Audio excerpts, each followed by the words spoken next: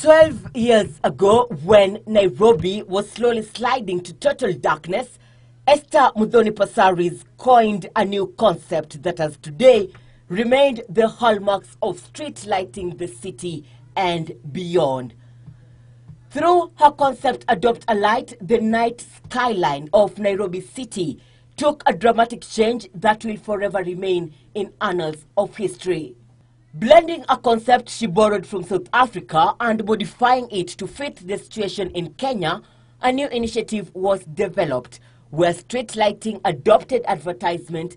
So successful was the project that it was later to be replicated in most cities across the country. In 2008, Passaris tried her stint in politics, running for Nairobi's mayoral seat.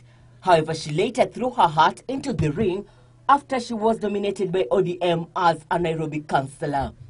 In 2007 general election, Passaris ran for Embakasi Member of Parliament seat, giving her competitors a run for the money in a subsequently by-election she became second.